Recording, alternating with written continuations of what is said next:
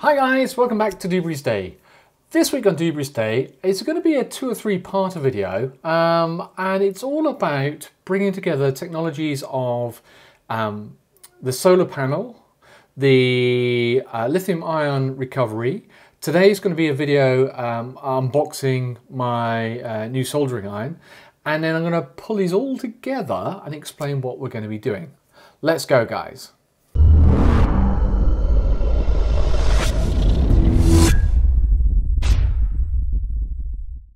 So guys, trying to think about how my YouTube channel is going and the way I like to work, and I want to explain this to you guys, is that I like to do lots of smaller projects and then all of those projects come together to actually make something at the end.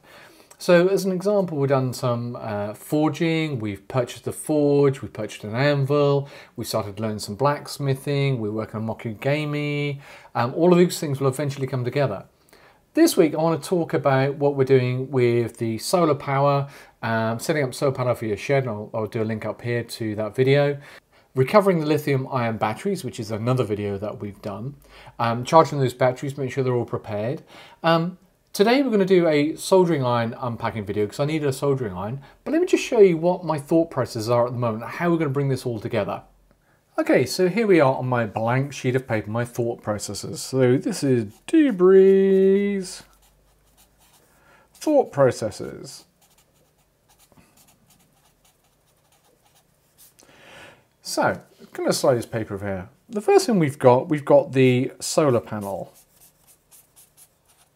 And if you remember, off of that solar panel, off of that solar panel, we've got an MPPT controller. Off of that, we have a standard car, a leisure battery, haven't we?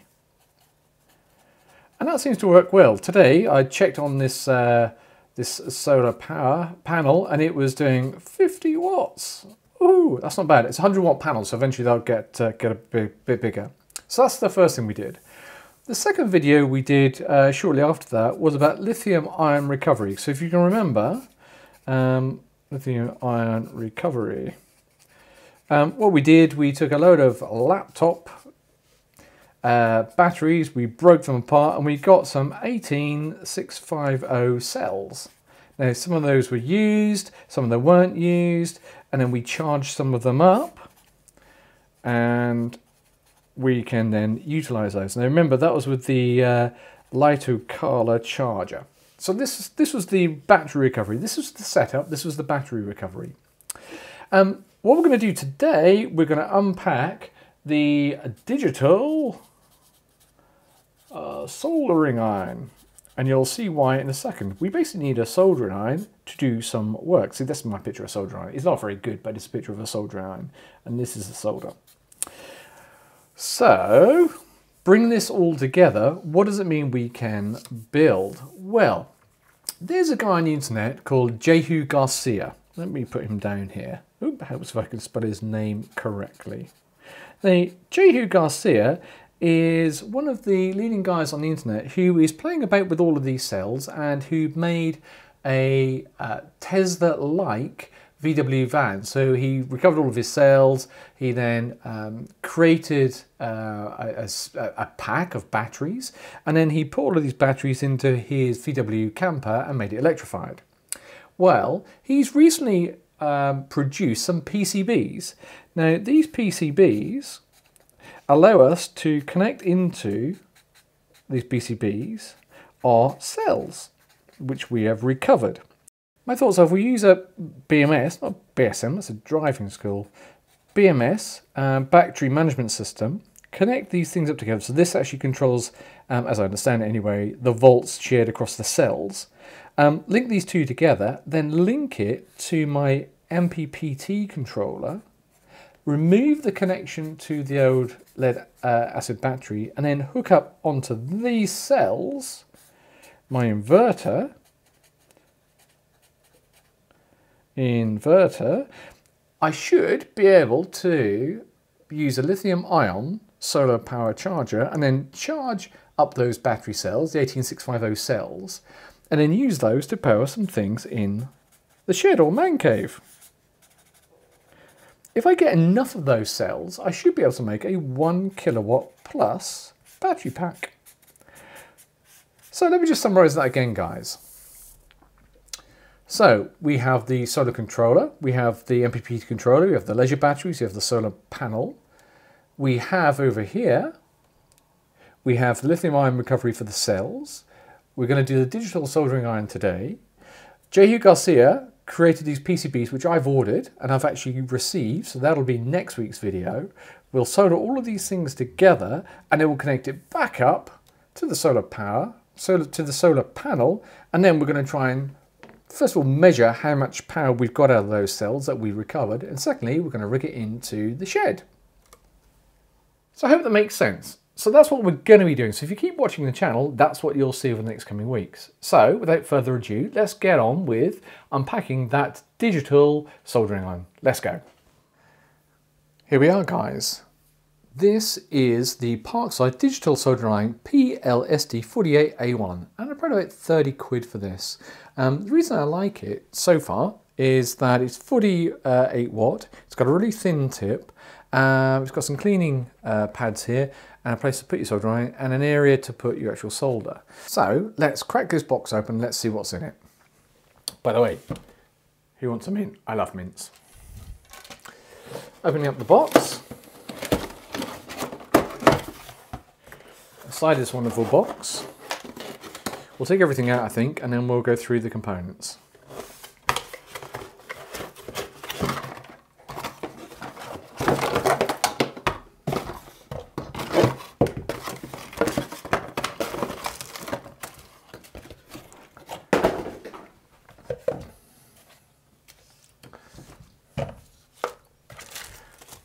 So, initial thoughts, have a look. We have a couple of pieces of solder.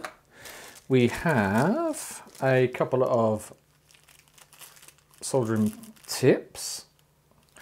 Uh, I'll just put one of those, uh, one of those already in. We've got a little soldering pad that can go in there. Um, we have clearly the soldering iron. Let me just undo this connection here.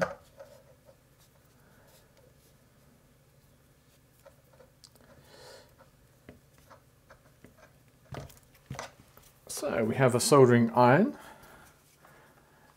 Parkside soldering iron, with a pretty decent tip. That looks pretty good to me. That can go in there.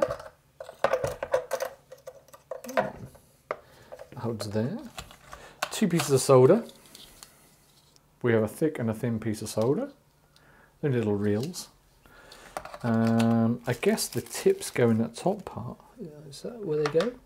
What it looks like and we have some destructions. Okay, we've got it plugged in. Let's power this big boy up. Turn it on.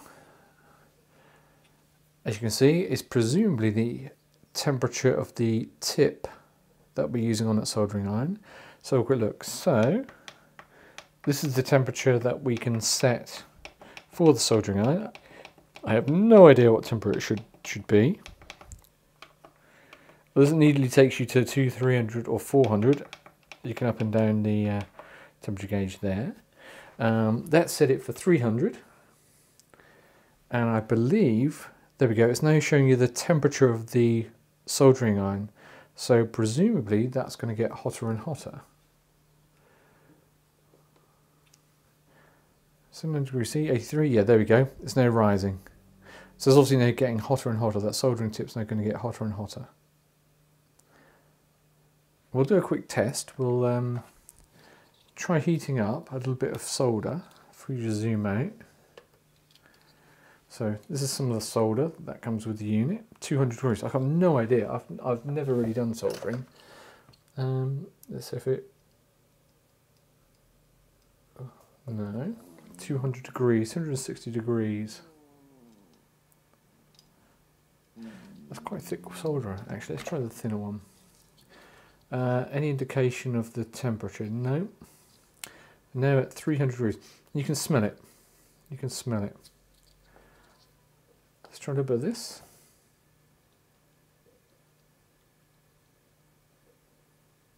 There we go. And it's now melting. Just pop it on there.